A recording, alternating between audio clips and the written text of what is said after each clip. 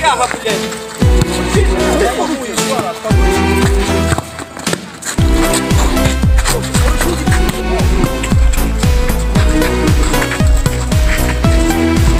Да не стальная игла, а грудь Мне пробила сегодня.